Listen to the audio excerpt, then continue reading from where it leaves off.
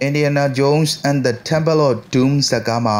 ပြည်သက်အသေးကျော်ဂန်နဝင်ရုပ်ရှင်မင်းသားကြီး Harrison Ford ဝစ်ဆင်ခဲ့တဲ့တကလက်အုတ်ထုပ်ကို လေလံတင်ရောင်းချတော့မှာဖြစ်ပါတယ်။လေလံပွဲမှာဒီအုတ်ထုပ်ကို American Dollar 3သိန်းခွဲကနေ2သိန်းခွဲတန်ဖိုးနဲ့ရောင်းချနိုင်မယ်လို့မျှော်လင့်ထားပါတယ်။ Indiana Jones and the Temple of Doom ဇာတ်ကားဟာ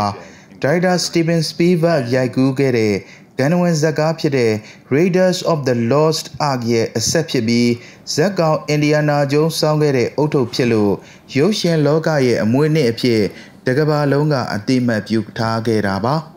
မင်းသားကြီးစောင်းခဲ့တဲ့ဒီအုတ်ထုတ်အပါအဝင်ကမ္ဘာ TV နဲ့ရုပ်ရှင်လောကကအရှားပါဆုံးဇက်ဝင်ပစ္စည်း1600ကိုဖြောပြေးလုပ်ငန်းသုံးအမတ်တရဇက်ဝင်ပစ္စည်းများအွန်လိုင်းလေလံပွဲမှာရောင်းချသွားမှာဖြစ်ပါတယ်။ဒီပွဲကို ကယ်လီဖိုးနီးယားပြည်နယ်လော့စ်အန်ဂျလိစ်မှာလာမယ့်ဇွန်လ29ရက်အင်္ဂါနေ့ကနေဇူလိုင်လ1ရက်နေ့ထိကျင်းပသွားမှာဖြစ်ပြီးစုစုပေါင်းဒေါ်လာ6.1တန်းဖို့ထိရောင်းချနိုင်မယ်လို့မျှော်လင့်ထားပါတယ်။